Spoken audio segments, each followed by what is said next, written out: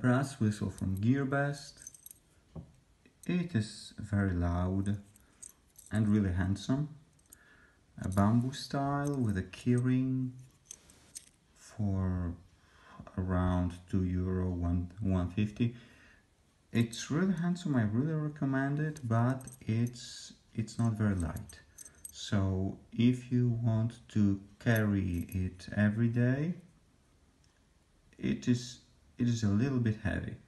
So aluminium plastic ones are really are really more recommended but this one is more ornamental one. If you need something really pretty handsome this one is for you